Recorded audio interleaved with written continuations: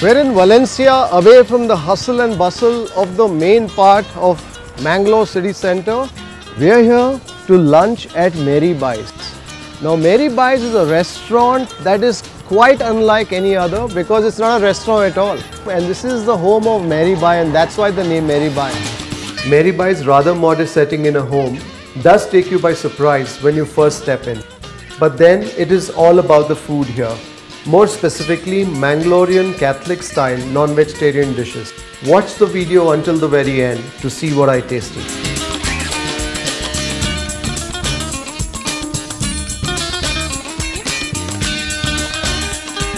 That is Mary Bai, uh, you know, who started this restaurant in 1984.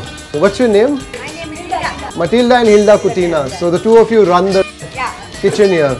Yeah. I can already smell the food. It's like you walk into someone's home and you smell some great food and you know you're going to have a great time at the table. That's the feeling that I get right here at Mary Bai's. Bangde masala, Bangde masala, pork chili, pork chili. and And uh, so there you have it. So we have recommendations from Mr. Pereira who's been a customer at Mary Bai's for the last five years. After eating, I become stronger.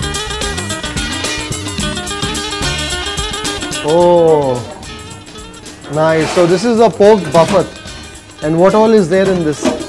Ah, okay. Secret. Secret recipe. Your food smells so good. Even without it coming on the table, I'm, I'm hungrier. I just ate breakfast one hour ago, but I'm hungry now. ಇನ್ನೆಷ್ಟು ವರ್ಷದಿಂದ ಬರ್ತಿದ್ದೀರಿ two ಇಯರ್ಸಿಂದ so just talking to them here and they've been coming here for years. So they love the food and also I think the other thing is that the homely atmosphere. It's like you're sitting in someone's home and eating. So this is the Fish curry. This is the fish curry. Now we've got some more food that's coming in. This is M- Maxime Coutinho, who is the son of Mary Bai, the lady who started this restaurant. So what is this, Maxime, if you can tell us? Chicken pepper. Chicken pepper? Pork pepper. Pork bafat. So I am all set for my meal here at Mary Bai's. So you get the meal. So the meals comes with some boiled rice, some pickle, a curry of the day. Today the curry is uh, boothai or sardine, and you also get a vegetable. So you get the this is a green gram vegetable that you have. So these are all Mangalorean Christian dishes. I'm going to start with some fish curry first. The food is nice and hot. This is a humble fish, the boothai, but a very popular fish here in Mangalore. The sardine. The green gram. Lovely, it's got some curry leaves here, it's got some onions. Oh, in fact, the green gram has all its crunch intact. It's not oh overboiled too much. As I bite into it, I can actually hear the crunch inside my mouth. Time to go in for the big one. This is the chicken pepper. Get a piece of the chicken. I can see coriander, I can see tomatoes. I think it's an onion based. It's a dry sort of a preparation. I can taste the freshness of the coriander. Very nice. I think I'm going to try the, the pork chili next.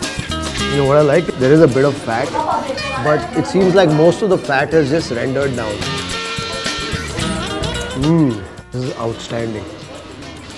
The fat in the pork is completely rendered down, and as I'm tasting the meat, I'm tasting the the unctuousness of the pork fat that's completely rendered in the masala. It's also got some chili, so you've got a you've got a spice of the chili as well. And you know what? It's got a nice smoky flavor to it. So we've done the pepper style. Now we're going to try the bafat style. It's nice and hot. Not scalding hot, but just hot enough for you to feel the comfort, feel the warmth that the food is supposed to provide. Mm. You get the chili, you get the onion, but in this you get the roasted masala, and I think that's the bafat masala that you taste in this.